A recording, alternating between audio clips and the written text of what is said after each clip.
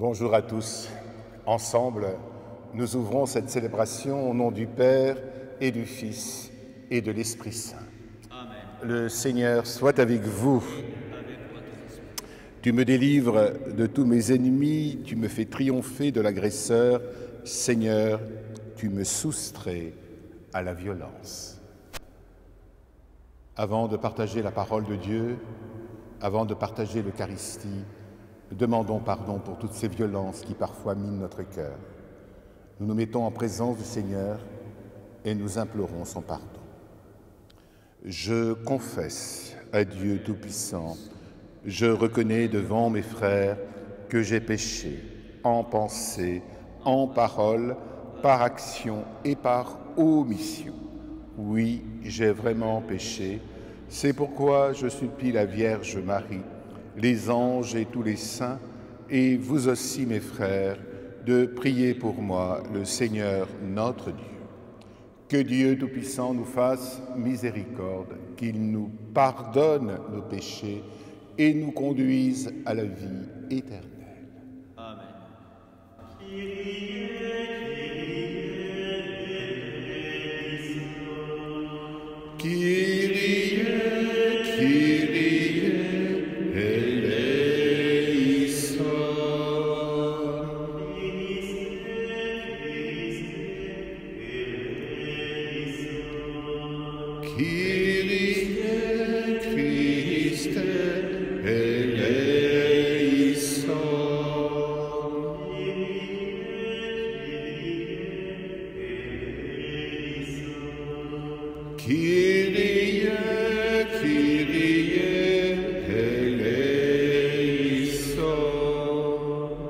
Prions.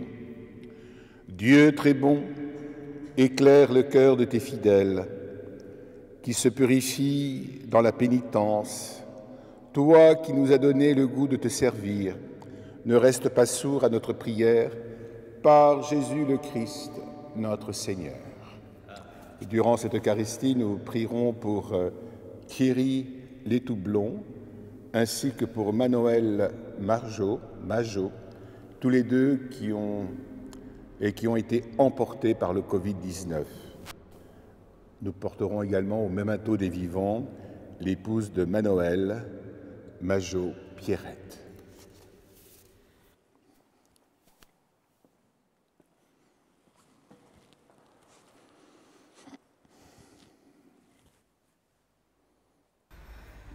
Lecture du livre du prophète Daniel, du chapitre 3.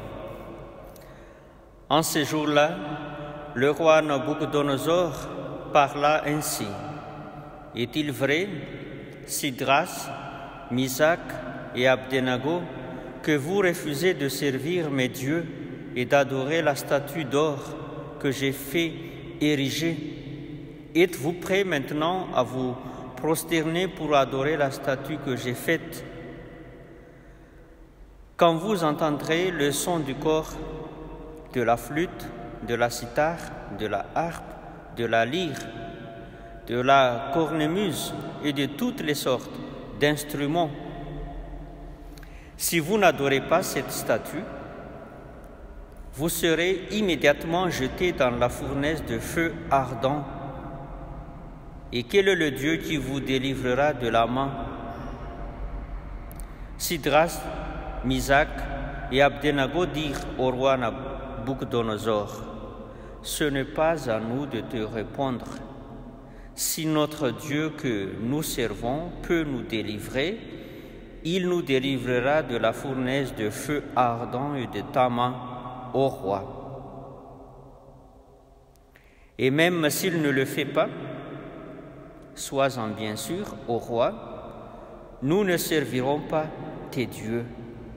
Nous n'adorerons pas la statue d'or que tu as érigée. Alors, Nabucodonosor fut rempli de fureur contre Sidrach, Misac et Abdenago, et son visage s'altéra. Il ordonna de chauffer la fournaise sept fois plus qu'à l'ordinaire. Puis, il ordonna aux plus vigoureux de ses soldats de ligoter Sidrach, Misac et Abdenago et de les jeter dans la fournaise de feu ardent. Le roi Nabucodonosor les entendit chanter. Stupéfait, il se leva précipitamment et dit à ses conseillers, Nous avons bien jeté trois hommes ligotés au milieu du feu. Ils répondirent, Assurément au roi. Il reprit, Eh bien moi, je vois quatre hommes qui se promènent librement au milieu du feu. Ils sont parfaitement indemnes. Et le quatrième ressemble à un être divin. Et Nabucodonosor s'écria Béni soit le Dieu de Sidrach, Misak et Abdenago, qui a envoyé son ange et délivré ses serviteurs. Ils ont mis leur confiance en lui et ils ont désobéi à l'ordre du roi. Ils ont livré leur corps plutôt que de servir et d'adorer un autre Dieu que leur Dieu. Parole du Seigneur, nous rendons grâce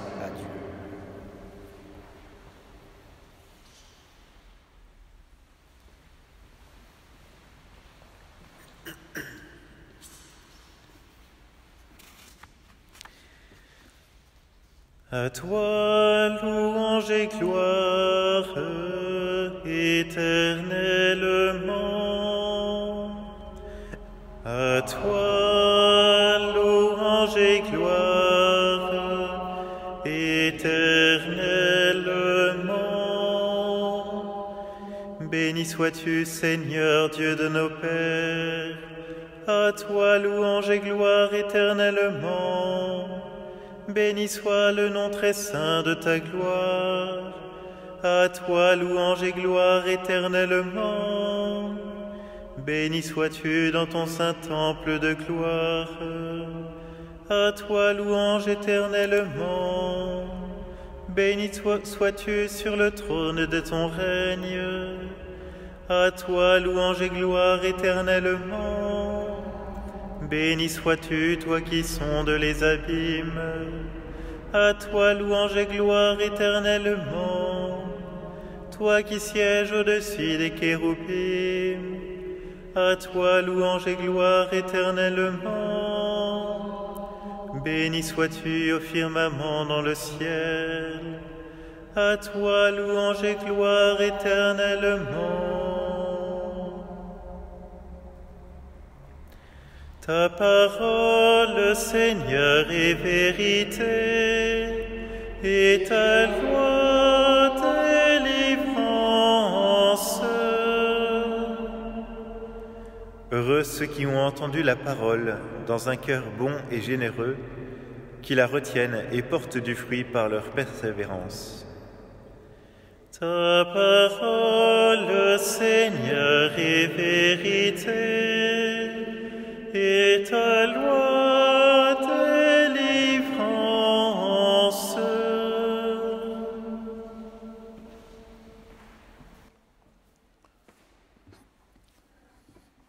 Le Seigneur soit avec vous. Évangile de Jésus-Christ selon Saint Jean. En ce temps-là, Jésus disait à ceux des Juifs qui croyaient en lui, Si vous demeurez fidèles à ma parole, vous êtes vraiment mes disciples. Alors vous connaîtrez la vérité, et la vérité vous rendra libre. Ils lui répliquèrent, Nous sommes la descendance d'Abraham, et nous n'avons jamais été les esclaves de personne.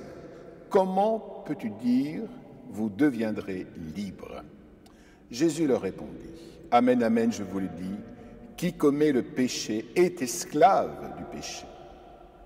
L'esclave ne demeure pas pour toujours dans la maison. Le Fils, lui, y demeure pour toujours. Si donc le Fils vous rend libre, réellement vous serez libre.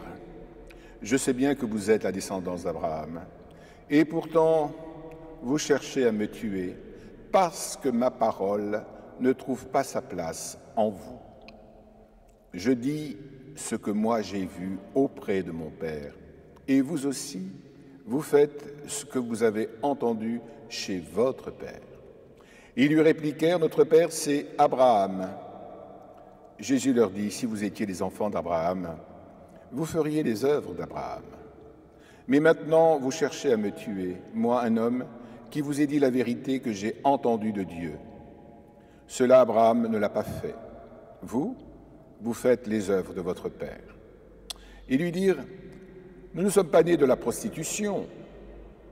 Nous n'avons qu'un seul Père, c'est Dieu. Jésus leur dit, Si Dieu était votre Père, vous m'aimeriez, car moi, c'est de Dieu que je suis sorti et que je viens. Je ne suis pas venu de moi-même, c'est lui qui m'a envoyé. Acclamons la parole de Dieu.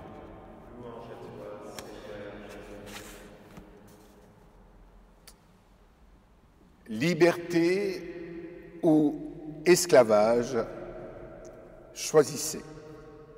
Voilà quel est le thème central de l'évangile que nous venons d'entendre ce matin. Et pour être véritablement en vérité, eh bien, la parole de Jésus ne peut laisser personne en repos après l'avoir entendu.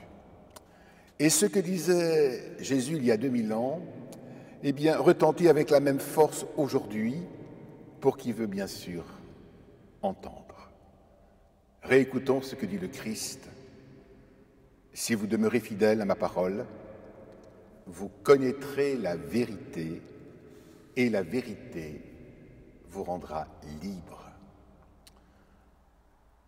À peine Jésus vient-il de dire cela que ses auditeurs sont piqués au vif et lui répliquent Nous sommes les descendants d'Abraham et nous n'avons jamais été esclaves de personne. Soi-disant en pensant il semble oublier les 400 ans de servitude en Égypte, mais ça c'est encore un autre problème. Mais ce qui est important, c'est de voir que Jésus met le doigt sur ce qu'est le véritable esclavage. Et c'est quoi, au fond, l'esclavage véritable? Eh bien, Jésus le dit d'une manière très claire. Le véritable esclavage, c'est le péché. Je cite encore le Christ. Tout homme qui commet le péché est esclave du péché. Si le Fils de Dieu vous rend libre, vous serez vraiment libre. Frères et sœurs bien-aimés, plus nous voulons aimer et servir Dieu, servir nos frères et sœurs, plus nous découvrons aussi en nous ce qui fait obstacle, ce qui nous fait dire avec Saint Paul, je ne fais pas le bien que je veux et je fais le mal que je ne veux pas. C'est dans Romains 7, au chapitre 7, verset 19. Alors, faut-il en prendre son parti? Surtout pas. Surtout pas.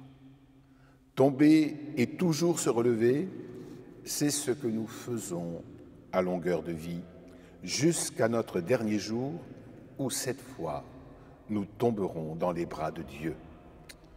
Et si nous pouvions, en cette fin de carême, aller rencontrer Jésus dans le sacrement de réconciliation, nous ne serions pas déçus.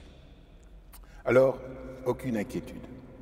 Après cette tragédie que nous vivons actuellement, il sera toujours temps de vivre ce moment de grâce où, dans les bras de Jésus, nous retrouverons la véritable liberté des enfants de Dieu.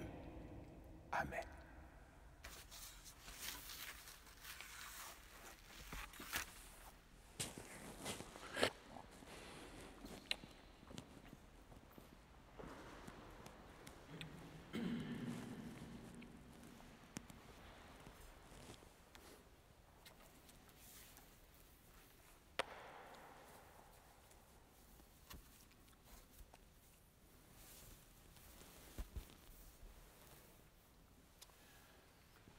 Tu es béni, Dieu de l'univers, toi qui nous donnes ce pain, ce pain qui est le fruit de la terre et du travail des hommes, nous te le présentons. Il deviendra le pain de la vie éternelle.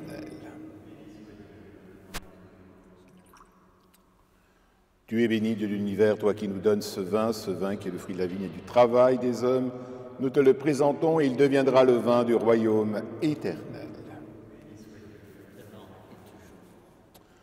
Humbles et pauvres, Seigneur, nous te supplions que notre sacrifice en ce jour trouve grâce devant toi. Lave-moi, Seigneur, de mes fautes et de mon péché. Purifie-moi.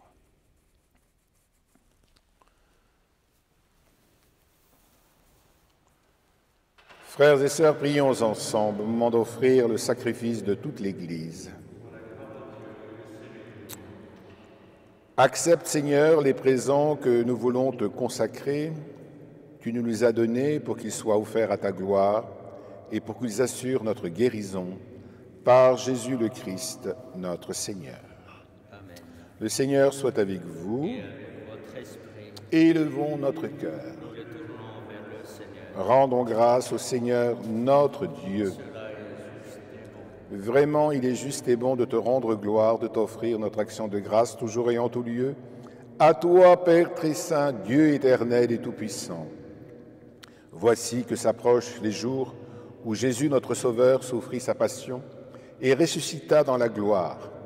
Voici les jours où nous célébrons déjà sa victoire sur le mal et le mystère de notre délivrance. C'est pourquoi le ciel et la terre t'adorent. Ils te chantent leur hymne toujours nouvelle. Et nous-mêmes, unissant notre voix à celle des anges, nous t'acclamons. Le Seigneur, de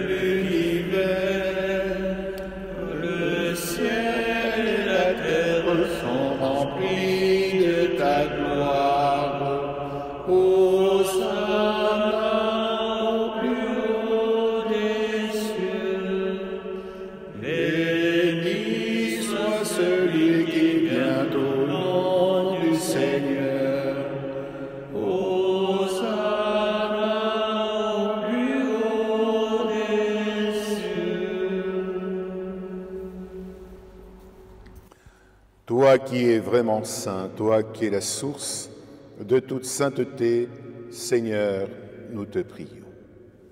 Sanctifie ces offrandes en répandant sur elles ton esprit, qu'elles deviennent pour nous le corps et le sang de Jésus, le Christ, notre Seigneur.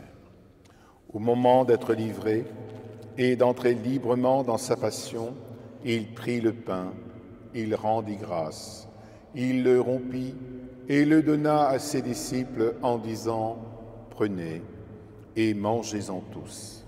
Ceci est mon corps livré pour vous.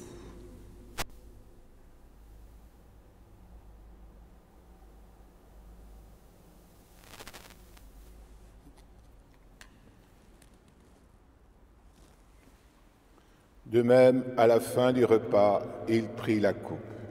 De nouveau, il rendit grâce et il la donna à ses disciples en disant, Prenez et buvez-en tous, car ceci est la coupe de mon sang, le sang de l'alliance nouvelle et éternelle, qui sera versé pour vous et pour la multitude en rémission des péchés.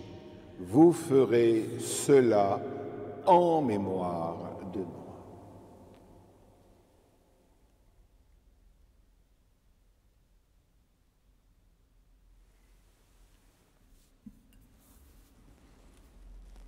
Il est grand le mystère de la foi. Nous proclamons ta mort, Seigneur Jésus. Nous célébrons ta résurrection. Nous attendons ta venue dans la gloire. Faisant ici mémoire de la mort et de la résurrection de ton Fils, nous t'offrons, Seigneur, le pain de la vie, la coupe du salut, et nous te rendons grâce, car tu nous as choisis pour servir en ta présence. Humblement, Seigneur, nous te demandons qu'en ayant part au corps et au sang du Christ, nous soyons rassemblés par l'Esprit Saint en un seul corps. Souviens-toi, Seigneur, de ton Église répandue à travers le monde. Fais-la grandir dans ta charité avec le pape François, notre évêque Monseigneur Jean-Yves et tous ceux qui ont la charge de ton peuple. Souviens-toi, Seigneur, de nos frères et sœurs défunts. Nous te confions particulièrement Thierry Létoublon ainsi que Manoël Majot. Puisque nos frères et sœurs ont été baptisés dans la mort de ton Fils, accorde à chacun de participer à sa résurrection. Souviens-toi aussi de tous nos frères qui se sont endormis dans l'espérance de la résurrection. Nous pensons à tous les défunts de notre pôle missionnaire, à tous ceux qui ont quitté cette vie. Reçois-les dans ta lumière auprès de toi. Et sur nous tous, Seigneur, sur nos familles, sur nos enfants, sur nos jeunes, sur nos malades, sur les soignants, ceux qui les entourent, qui les visitent, et en te priant particulièrement pour Pierrette Majot, qui est confiée à notre prière, actuellement en réanimation. Sur elle, comme sur tous les malades, nous implorons ta bonté. Permets qu'avec la Vierge Marie, la bienheureuse Mère de Dieu, avec Saint Joseph, les apôtres et les saints de tous les temps qui ont vécu dans ton amitié, nous ayons part à la vie éternelle et que nous chantions ta louange par Jésus le Christ, ton Fils bien-aimé. Par lui, avec lui et en lui, à toi, Dieu le Père Tout-Puissant, dans l'unité du Saint-Esprit, tout honneur et toute gloire pour les siècles des siècles.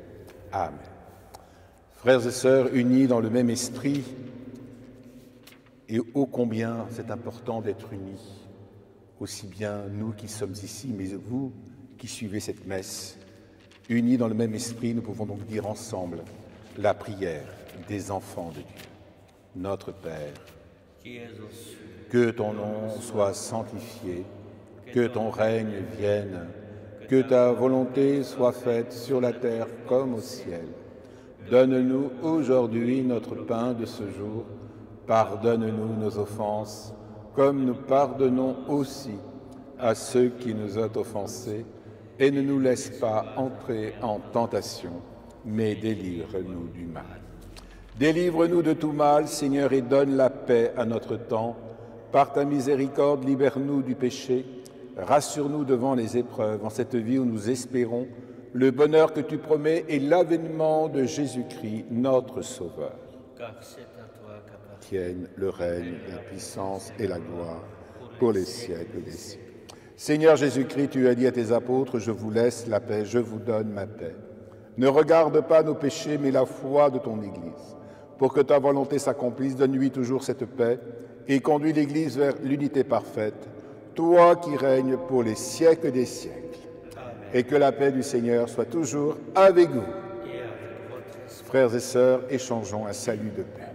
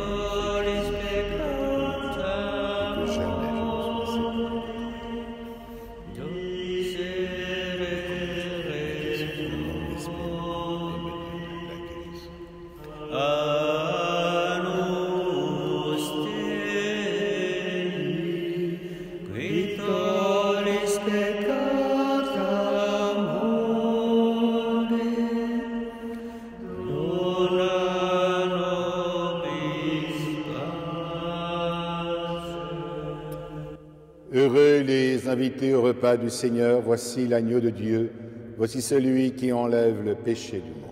Seigneur, ne suis pas digne de te recevoir, mais dis seulement une parole et je serai guéri.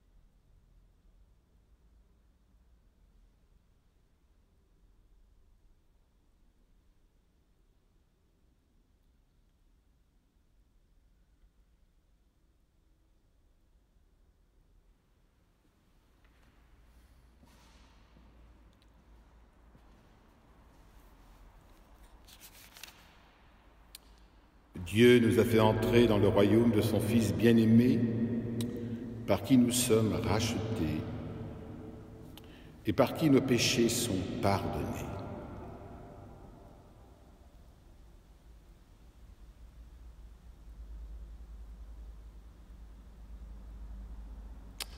Prions encore. Que cette communion à tes mystères, Seigneur, nous procure la guérison que toi seul peux donner, qu'elle arrache de nos cœurs jusqu'aux racines du mal, qu'elle nous protège et nous fortifie à jamais par Jésus le Christ, notre Seigneur. Avant que le Seigneur nous donne sa bénédiction, j'ai une petite annonce. Nous recevons beaucoup de messages fort sympathiques et des très bonnes idées J'en garde une qui me paraît très bonne. C'est vrai que ce week-end, c'est le week-end des rameaux, et en raison de la tragédie que nous traversons, évidemment, nous ne pouvons pas bénir les rameaux. Alors il y a une opération qui a été lancée qui s'appelle l'opération Osana. En quoi ça consiste? C'est très simple. Chaque foyer, s'il le souhaite, peut réaliser une banderole, petite banderole, hein, euh, pas quelque chose de très grand, mais une banderole, blanche si possible, avec un rameau peint dessus et l'accrocher à sa fenêtre dimanche prochain. En faisant ainsi, d'abord on peut occuper les enfants, parce que ça sera une très belle réalisation, et puis on poserait un signe d'espérance. Nous pourrons ensemble montrer au Christ et au monde entier que les chrétiens sont unis en ce dimanche des rameaux. Alors voilà, j'ai souhaité diffuser cette information qui me paraît très belle. C'est une excellente initiative et dans la mesure du possible, eh bien, je vous encourage à réaliser cette banderole et à la mettre à vos fenêtres. J'essaierai avec Séraphin de voir si on peut vous donner une petite image de cette banderole en question, mais c'est très simple, c'est un tissu blanc à partir duquel on peint un rameau. À part ça, eh bien, les prêtres vont bien. Actuellement, le Père Thomas, le Père Philippe, le Père Clément, bien, ce matin, se reposent un peu. Euh, quant à Séraphin, et le Père euh, Do et moi-même, comme vous le voyez, nous sommes toujours fidèles et fidèles à vous rejoindre par la prière et en bonne forme. Il n'y a aucun souci là-dessus. Dernière nouvelle aussi, nous avons cette semaine beaucoup de, beaucoup de décès.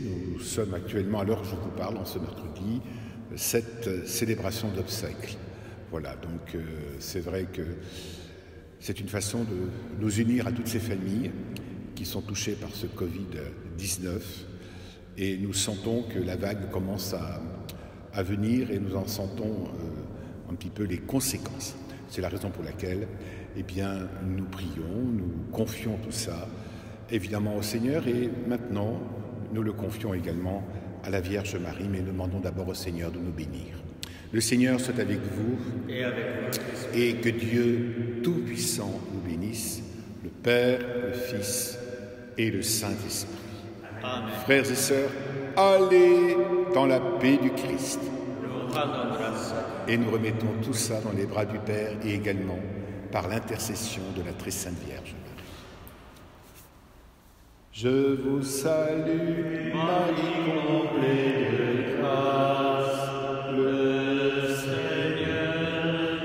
Seigneur